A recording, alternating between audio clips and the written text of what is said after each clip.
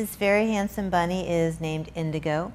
He came to us just a couple of weeks ago in mid-July and he is with us because his family had some uh, issues with divorce and they were unable to keep him, unable to rehome him, so he is here now. Indigo is approximately three years old. He is a boy and he's a mini Rex and he's got that gorgeous velvety coat. If you've ever read The Velveteen Rabbit, um, when I see and, and, interact with bunnies like this, that's what I think of. Um, just the texture of his coat is very plush and very, very soft. But he's here now. A lot of times folks get bunnies and they don't realize the work that goes into them. Fortunately, we are very lucky. We've got um, very literate volunteers that are willing to help us place bunnies appropriately, ensure that we provide the correct enrichment for them while they're here. Bunnies sometimes do end up staying with us for quite a while.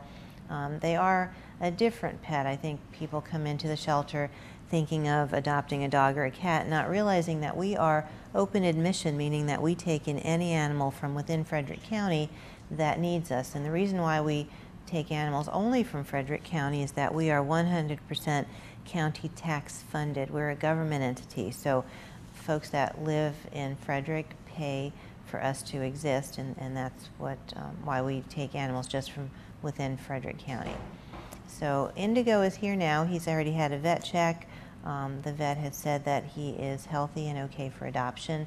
We do preventatives on bunnies. Bunnies don't need vaccines or shots like other animals do, but they can develop um, skin issues. They need their nails trimmed. They need their teeth monitored.